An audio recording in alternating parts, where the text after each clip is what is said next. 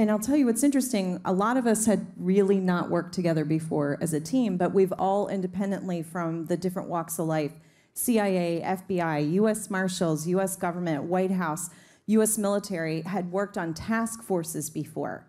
And that's really what this was like. And candidly, even though it was a game, a contest, and cameras were around, when that bell went off and it was time to start hunting, it was our day job. I mean, it truly was a job, and it was, a, and we ran it like a real investigation.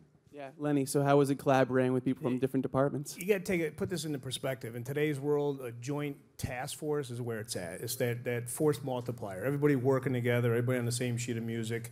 We didn't have that years ago, and it certainly helps to stay ahead of the curve, especially chasing ordinary citizens. You got 18 ordinary people, two moms, a boyfriend, girlfriend. We got one guy who was arrested 13 times. He's now a def- criminal defense attorney, I think, or something. But other than that, they're they're scared to death. These people, you know, they're running, they're sleeping with one eye open, and I don't blame them. You got crazy Green Berets and Navy SEALs chasing me. I'm going to do the same thing. So yeah, it's kind of crazy.